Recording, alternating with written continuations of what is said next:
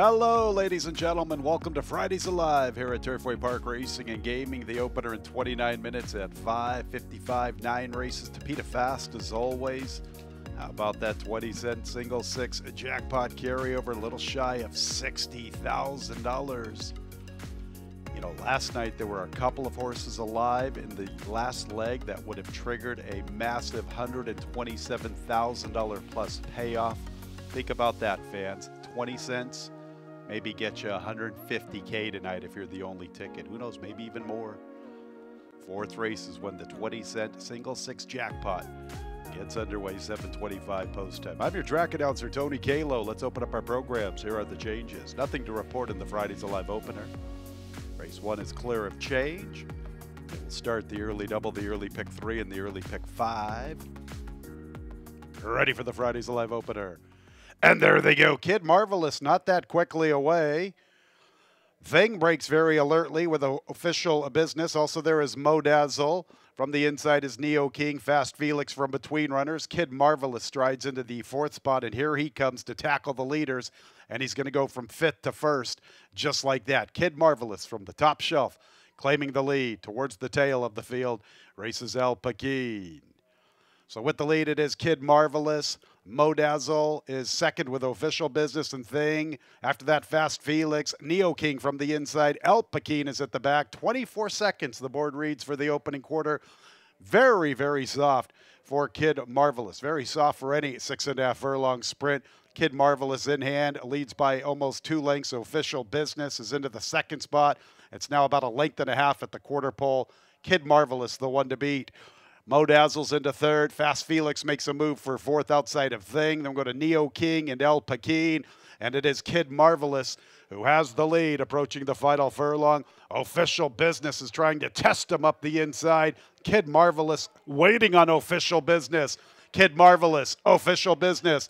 Kid Marvelous has a race on his hands. Here's official business up the inside. Official business wins the Fridays Alive opener out, finishing Kid Marvelous. Neo King was third. Fast Felix checked in fourth.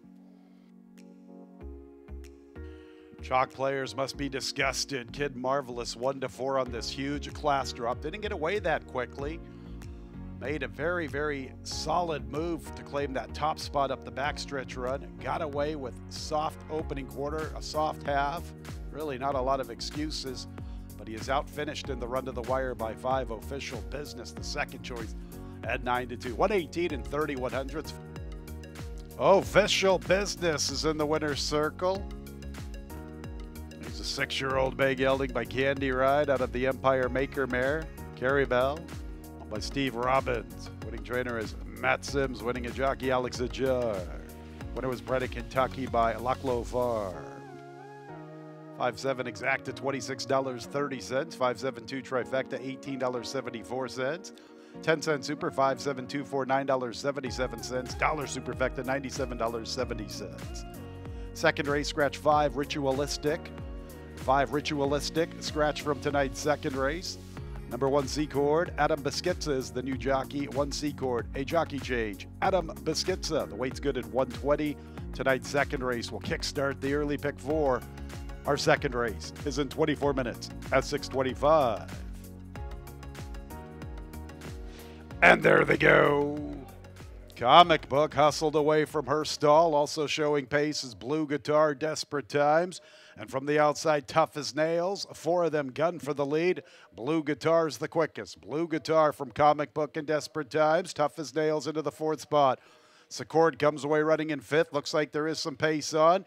Secord's a little less than four lengths off the lead from the inside.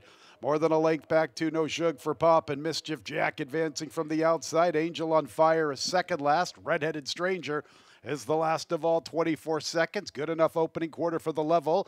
And it is Blue Guitar with the lead. Blue Guitar past the 5 eighths, nearly a length and a half. Desperate time, stocks from the second spot. And Mischief Jack's making a move for the third position. With her as tough as nails and from the inside comic book. Here's Redheaded Stranger with a big rush to the far outside. She's into the fourth spot. She's wide heading into the turn, getting within three lengths of the pace. Secord continues with her ground saving journey. Now she's into the two path, has traffic to deal with. Looks like she has run, but where's she going to go? From the outside is No Shug for Pop. And at the back is Angel on Fire. Blue Guitar still with the lead. Redheaded Stranger continues with her move. No Shug for Pop is circling into the scene from the outside. Then Mischief Jack desperate times, tough as nails. Now Secord has come under plenty pressure, not really responding, and there's no Shug for Pop. No Shug for Pop comes away with the lead. Blue Guitar's running a heck of a race, a lot of fight to her. Redheaded Stranger is third. No Shug for Pop has the lead. Pass the Sugar. No Shug for Pop in race two. Blue Guitar's trying to hang on for second. Looks like she will from Redheaded Stranger. Checking in for Tough as Nails for the Superfecta. No Shug for Pop in race two. Leading jockey Luan Machado what he does best. Showing plenty of patience up the backstretch and finishing with a flourish. No Shug for Pop. Circled into the scene through the far turn run proved to be the best. 140 and 47 100s. Good effort from six Blue Guitar and a photo for second. Make sure to hold all tickets. Second race is official. Nine No Shug for Pop, a three year old dark bear brown filly by Hard Spun out of the Bodemeister mare Enchanted Emma. And here she comes making her appearance in the winner's circle, which is in the paddock this evening. No Shug for Pop is owned by Clays Hill Farms along with River Oak Farm. Ben Colebrook is the winning a trader, winning a jockey, the Axeman, Luan Machado. She was bred in Kentucky by River Oak Farm. Exact Exacta $72.86. The trifecta $72.15. 5 9 early double $29.32. 10 cent superfecta 9638. That's worth $169.82. The dollar super $1,698.20. Third race eight, Feisty Matoli, two pounds over the way to double in a mid pick three. Tonight's third race is in 22 minutes at 655. And there they go. Awkward start, Cantaloupe, along with Kendall Grace. Feisty Matoli not that quickly away either. Song of Norway is showing good speed with Wild Acclaim, Wicked Frost, and Army Girl vie for third. I got a Bolts in the fifth spot. There's no tapping out, isolated in the sixth position, about four and a half lengths off the lead. A length to Kendall Grace, then Feisty Matoli, Esme, and Cantaloupe is the last of all. And with the lead, it's Wild Acclaim, almost two lengths. Chasing her from the second spot is Song of Norway. Wicked Frost is third. I got a Bolts fourth from the far outside, and she gets within four lengths heading into the far turn run. A length back to Army Girl. I'm going to feisty Matoli. No tapping out from between runners. Cantaloupe's trying to gear up from the rail as Kendall Grace. Esme can see them all, and Wild Acclaim has the lead. Wicked Frost is making her move. Here comes no tapping out. She's looking for somewhere to go. Looks like she's going to go outside of Wicked Frost. In the meantime, Kendall Grace finds a slip along the rail. Here's Kendall Grace coming away with the lead. Kendall Grace has the lead. No tapping out continues to close in, but her momentum was stalled just a bit. Kendall Grace with a much smoother trip to the wire, and she's the winner. 14 to 1, the lone mare. No tapping out might have been the best. She had a lot of trouble to deal with. They go to Wicked Frost. Fourth and fifth involves I Got a Bolt and Song of Norway. The lone mare won with room to spare. That's because she got a very smooth trip. Very nice ride by Andres Calleja.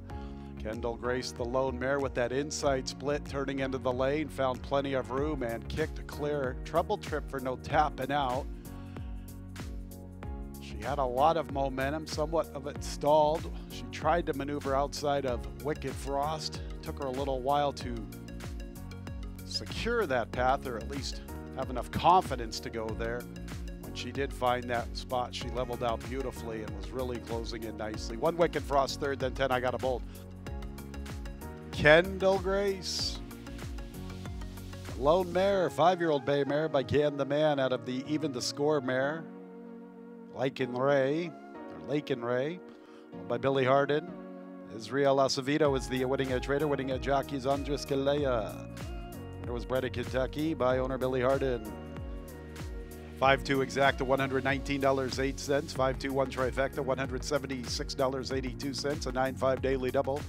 $66.76, 10 cents superfecta, 52110, $183.76, a dollar superfecta, $1,837.62, 595 early pick three, $206.63. It's time for the 20 cent single six jackpot fan. $60,000 carryover, just about 60,000. Fourth race, scratch one. Fan the fire, also scratch 10. Jaber. one and 10 out of the fourth. Eight, innocent man, two pounds over the. And there they go. Silent Spectre is out for the lead. Roja Redemption also flashing plenty of foot. Gamer comes away in good order. He's third through the early stages. It is Silent Spectre making the pace to the 7 8s. Roja Redemption is second. Gamer has the third position. Sterling's Gold is into the fourth spot. Haskell is fifth from the outside. Fierce Assault is sixth. Innocent Man from his outside. And Breakout Star is the last of all. And it's Silent Spectre with the lead. Two and a half lengths entering the backstretch to Roja Redemption. Gamers in the third position, a little more than four lengths off the pace, half a length to Sterling's Gold, another length and a half to Haskell, almost a length back to Fierce Assault from the inside, almost three lengths to a Breakout Star racing with Innocent Man, and it's Silent Spectre calling the shots, and he leads by two and a half for three from Roja Redemption. Gamer inches a little closer up the inside. Sterling's Gold's in the fourth spot, seven lengths from Silent Spectre.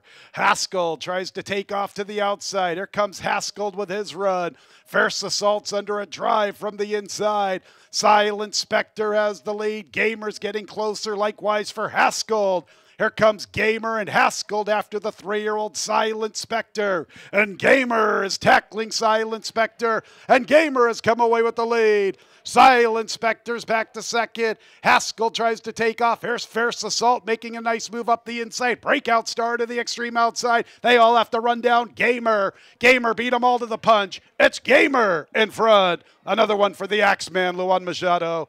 Breakout Star was second, then First Assault, Haskell, and checking in fourth, or checking in fifth was Silent Spectre. Two to one favorite gets it done. That's number three. Gamer, 138 and 79 one hundredths. Luan Machado with another riding victory. The Axeman is just so patient over this Tapeta surface. He had Gamer in a beautiful spot up the backstretch, utilizing an inside draw. When he made his move after Silent Spectre, he quickly reeled him in and kicked clear from the others. Three Gamer, two to one favorite, getting it done in the first leg of the 20 cent single six jackpot, 138 and 79 one hundredths. Photo for the balance, please hold all tickets. Gamer makes his way into the winner's circle. He was game this evening, indeed. A five year old a big gelding by twirling a candy out of the Bellamy Road mare. Back Road Bellamy. All new trained by Steve Asmussen. A double for the X-Man, Luan Machado. The winner was bred in Kentucky by Pope McLean, Mark McLean, Pope McLean Jr. 10 cent superfecta, $46.58. Dollar super, $465.83. 953 pick 3, $109.77. 37 exacta, $68.32. 372 trifecta, $76.80. A 5-3 daily double is good for $45 and 41 cents. I'll get back to that double payoff. I think that was right, but let's just check it for good measure. Yep, $45.41. All right, fifth race, we'll start our late pick five, named in honor of Wagstaff Incorporated. Scratches 5, 11, and 12, Austin Strong, Roaring Rapids, and Sweet Freedom. 13 and 14 draw in off the also eligible list. 13 Ask Arthur will pick up the services of Axel Concepcion, and the weight's good at 120. 10 title contender will carry one pound over our late pick five, 22 minutes away at 755. And there they go. How's your attitude? And Ove and Sandpipes. These are the three quickly away. Sandpipes from the rail, Ove in the two path. How's your attitude? Three wide. This time from the extreme outside, it is Sandpipes. The speed at the 7 8s from Ove. Warring Thunder is eager to go from the inside. Jock wants him to relax. He is really a handful. This time advances in the clear. How's your attitudes in the fifth spot? Only two and a half for three off the lead. Three lengths to Ask Arthur, six lengths from the front. A length to Storm and Willie and title contender. It's better than four lengths to Drury Lane. Telescopic is second last, and Freddie Mac is the last of the 11 three year olds. A good opening quarter of 23 and two fifths. This time's up to the front. Sandpipes immediately counters. Ask Arthur chases them with Warring Thunder. How's your attitude? He's in a nice spot, heading into the far turn run, isolated in fifth, and here he comes with his run. How's your attitude to the outside, getting within three lengths, and also trying to close in is Ove. Ove's making his move. And also further out there races Ask Arthur. So Ove is the one that was up close to the action. How's your attitudes? Come away with the lead. Ove is there this time. Also closing in, Ask Arthur. Freddie Mac's beginning a big move. So too trying to close in telescopic. How's your attitude? It was the one that was in that perfect spot up the backstretch. Here's Ask Arthur. Here's Freddie Mac to the far outside. Freddie Mac's hitting his best stride. How's your attitudes trying to get to the wire? Ask Arthur and Freddie Mac are closing in. How's your attitude with that beautiful trip? Can he hang on for the score? How's your attitude? How's your attitude from Ask Arthur? Freddie Mac third, then telescopic, and after him was Drury Lane. In a perfect spot up the backstretch, he was isolated in the fifth position, and you could see when he maneuvered to the outside heading into the far turn run, he had a good stride. 138 and 87 100ths.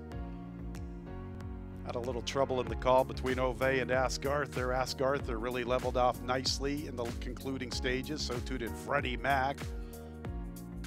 Unofficially, though, we are waiting for the results. 138 and 87 100ths the final running time. How's your attitude? He's in the winner's circle. Three-year-old make hold by Street Sense out of the Wildcat Heir Mare. Daring Kathy by Welch Racing LLC, winning a Traders John Ennis, winning jockey Adam Beschizza. The dynamic duo strikes again. How's your attitude? Was bred in Kentucky by Malibu Farm LLC. 713.96. Early pick four, $544.53. 10 cent superfecta, $246.66. 713 exacta, $194.04. 713 at 9 trifecta, $141.64. 37 daily double, $14.30. Early pick five, $3,200, $44.75. Four out of five is good for $33.37. Race six will start our late pick four. Number one, Dumont, a jockey change to Axel Concepcion. To Best Man Speech, one pound over the weight. Likewise for seven, Dashed, one pound over. Two and seven, both one pound over the weight. Race six in 20 minutes at 8.30. And there they go. Brisk beginning, Drunken Sailor from that far outside. Dashed is also quickly away. Midnight Ambition third, headed by Dumont. Best Man Speech splits them. Fast and Ready is in the sixth spot. He's in midfield. And he's about four lengths off the pace, better than three lengths to Aspiring Comedian. The other three are far back. That Star of Caesarea, Stately Order, and Lord Zeke. Dash now gets to the front. Drunken Sailors in a good spot from the second position. Dumont third with Midnight Ambition. They have more than three and a half to make up on Dashed. And after them, to the outside is Fast and Ready, and trying to close in Aspiring Comedian from the inside. Stately Order is picking up a nice stride. He gets within about seven or eight lengths of the leader, who remains dashed. After him, Star of Caesarea. Just in front of both of them was Best Man Speech. Still Lord Zeke far out of it. Here comes Midnight Ambition, three wide and Drunken Sailor. They're both going to tackle Dashed, who still keeps the lead. Dashed has the lead. Drunken Sailor fights on from between runners. Midnight Ambition to the far outside. It still is Dashed at a big number. Drunken Sailor's trying to wear him down in between runners. Here comes Drunken Sailor after Dashed. Drunken Sailor's now getting to the front. Dashed is trying to fight on. Drunken Sailor. Winning debut for him. Dash checks in second. Then Midnight Ambition, Dumont, Star of Caesarea, and from the inside, Aspiring Comedian.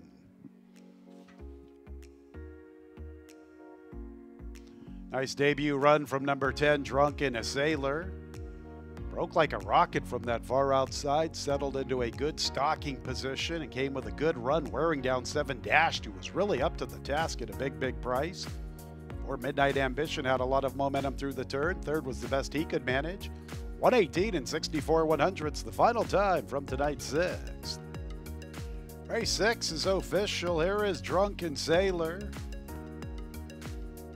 Three-year-old Chestnut Gelding wins his first start. He's by midshipman out of the Dehere mare, EGOT. Owned by Ice Wine Stable, winning trainer Wesley Ward, winning jockey Walter Rodriguez. This winner was bred in Pennsylvania by Horseshoe Valley Equine Center LLC, along with Best Foot Forward Holding.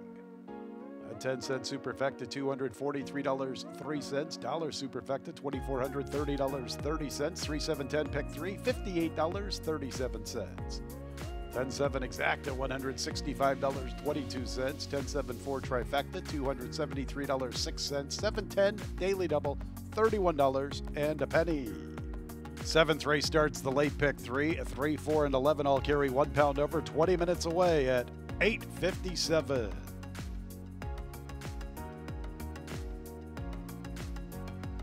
Number four, Akana. The lone debuter is the current favorite.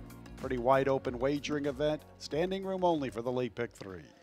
And there they go. Pretty good start for all of them.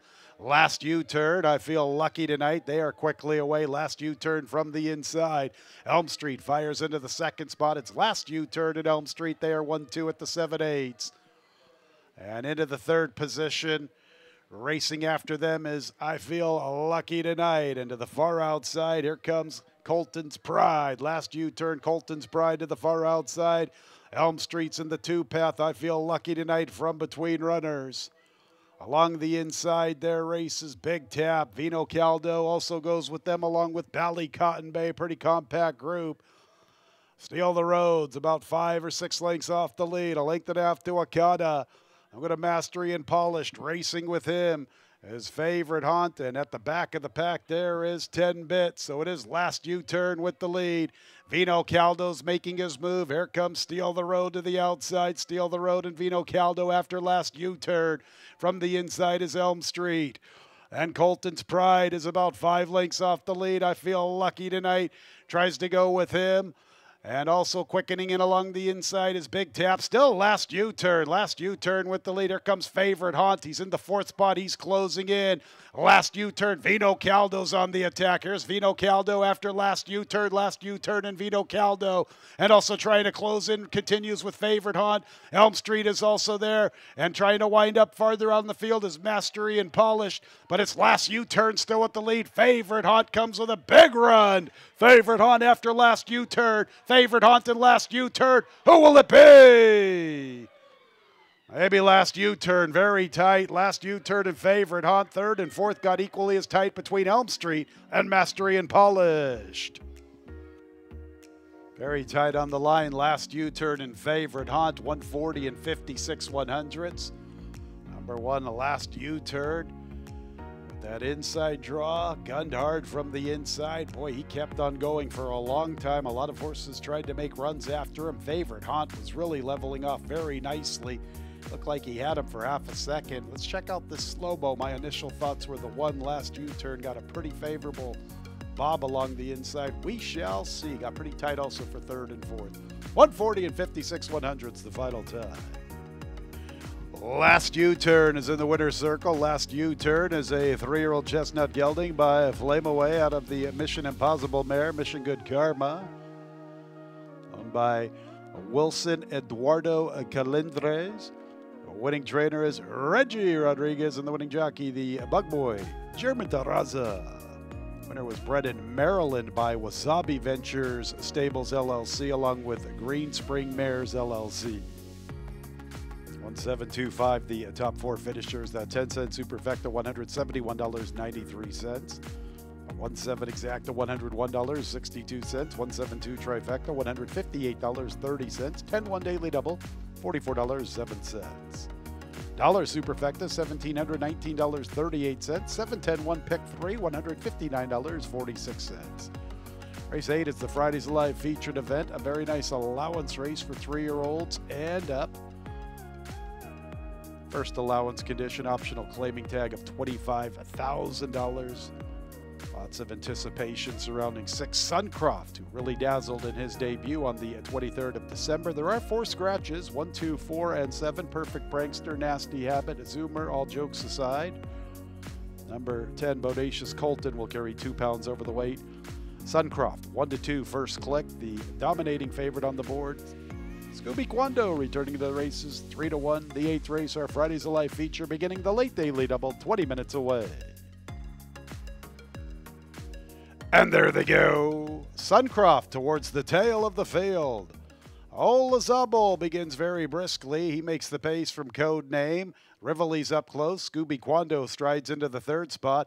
Here's Suncroft making up ground rapidly, guided into the clear. He's currently in the fifth spot, and he's about five lengths off the lead, maybe a little less than that. Two and a half clear from Supremely, and Bodacious Colton is at the back. So Olazabal is the speed, and Codename stays close to him in second, 22 and one fifth that opening quarter. Suncroft strides into the third spot. He's five lengths off the lead heading into the turn. A length and a half to Scooby Quando. Supremely's trying to wind up three deep. Rivoli from the inside. Bodacious Colton's at the back. And here comes Suncroft after the top two. Asked for a little bit of run. Suncroft, he's three lengths from the leader, Olazabal. Olazabal has the lead. Codename is second. Suncroft really needs to go from there in third to his outside. Making up ground is Supremely. Olazabal still the leader. Olazabal gives them the slip. Suncroft's taking his sweet time to wind up. He's into second, but Olazabal has a big lead in deep stretch, and Olazabal's going to post this upset. He's a gate to wire winner in the Fridays Live feature at 11 to 1. Suncroft plays second fiddle in his second start. In third, their code name, then Supremely, Rivoli, Bodacious Colton, and Scooby Quando. Our Fridays Alive featured event, in zone, the Urban Handicapper. Shout out to Barry, 110 and 25 100s. Olazabal, gate to wire winner. Posting this big upset at 11 to 1. Six Suncroft came away in last. Put himself into a good spot heading into the turn, but past that 5 16s, boy, he was under a little bit of pressure. Second best is all he can manage. Third place, nine code name. Fourth place, three supremely. Eight, six, nine, three, unofficially in the Fridays Alive featured event. In the winner's circle is number eight, Olazabal. A four-year-old dark bear brown gelding by Bolt de Oro out of the Tiznow mare, Derby Eve, by Douglas Miller and William Wargel, winning at trainers Eric Foster, winning jockey Abel Cedillo. The winner was bred in Kentucky by Susan Kastner. And race 8 is official. 8693 top four finishers exact exacta $45.88. 10 cent superfecta $58.99. Dollar superfecta $589.90. 10 1 8 pick 3 $434.65. 869 a uh, trifecta $62.43. 1 8 daily double $161.87. Ninth and final, 1 and 10 have both been scratched from the nightcap, a super high five opportunity, 22 minutes away at 955.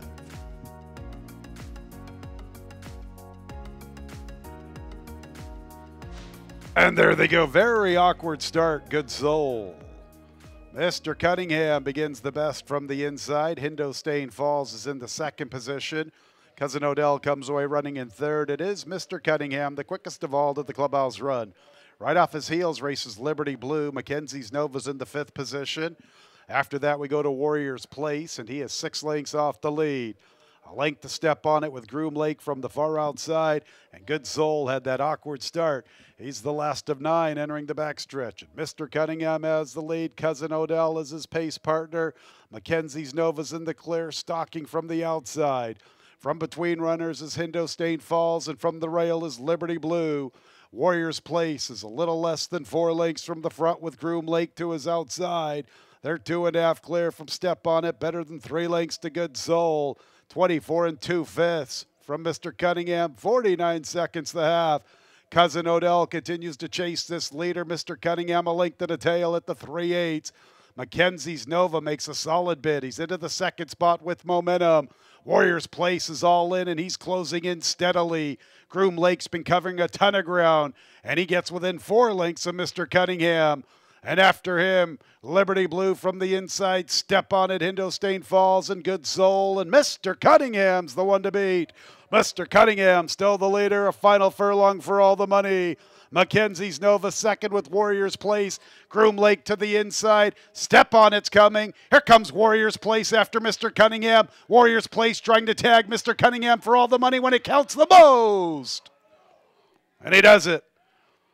Warriors Place for Mr. Cunningham. The Mackenzie's Nova step on it in Groom Lake for that super high five.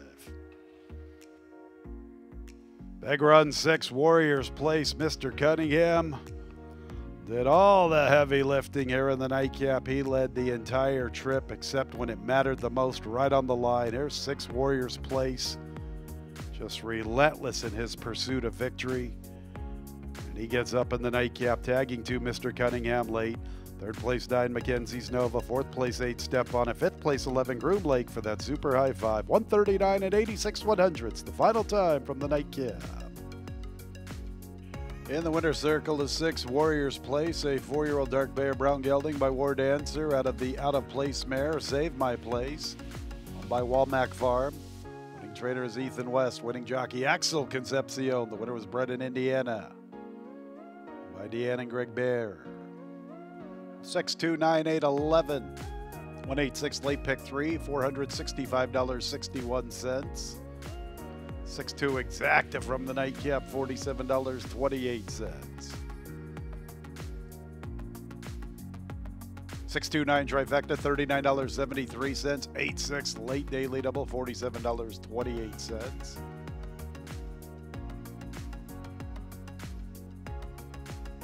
Late pick four, $2,340, 22 cents. 10 cent super, $14.62. Looks like that pick six was scooped up for better than $100,000. How about the late pick five? $10,570.72. Four out of five, $81.72. Super high five was hit, $267.08. Looks like somebody has scooped up our 20 cent single six jackpot better than $103,000 if I saw that correctly.